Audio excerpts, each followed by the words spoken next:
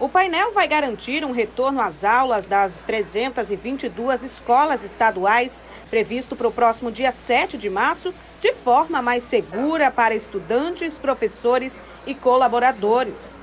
Com a, a redução do, dos índices epidemiológicos, né, que a, a gente vem acompanhando, e as escolas puderam voltar no final de 2021, né, de maneira híbrida, a gente já começou a partir de outubro de 2021 a monitorar cada escola no que se refere a, ao índice epidemiológico, né, ou seja, de contaminação, professor, aluno e servidor de maneira geral, e também de vacinação.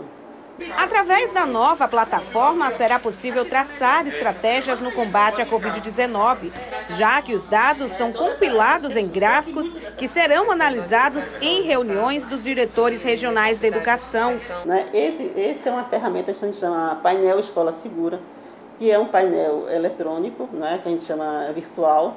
A gente manda o forms, esse forms é, é respondido semanalmente pela escola.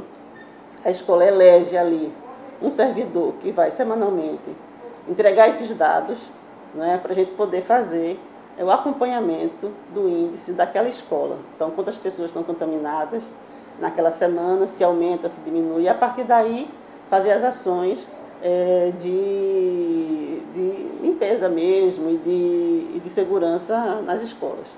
A ferramenta funciona desde outubro de 2021 e através dela é possível identificar quais as principais regiões que estão com maior incidência do vírus. Então, para a gente saber se, essa, se aquela localidade né, né da escola, naquele território, o índice epidemiológico está aumentando ou está diminuindo. Então, esse é o controle que a gente faz. É claro que com a volta às, às, às aulas, esses índices do, do painel Escola Segura, ele vai ser fundamental para a gente saber se aquela escola vai voltar com segurança ou não.